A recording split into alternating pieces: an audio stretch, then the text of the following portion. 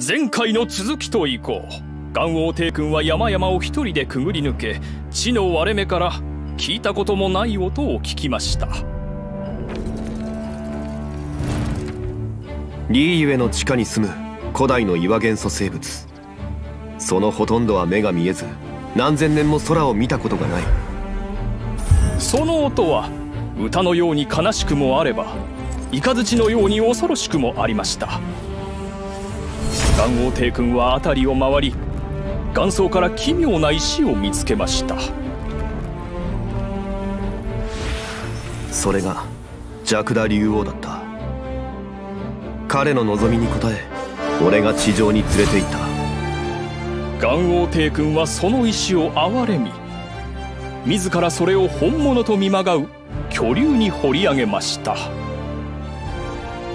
俺が彼に世を見る両目を与え契約を交わした。指を筆のように振るい竜の目の玉をつけました。その瞬間空に雷鳴が轟き本物の竜が現れたではありませんか。俺は彼が地上の人々と生きることを認めた。しかし彼が秩序を破れば再び暗闇に封印することになる。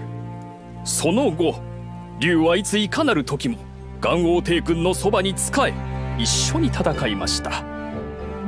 このような言葉があります。金石が砕かれ誇を震わし山と川を二つに裂いた。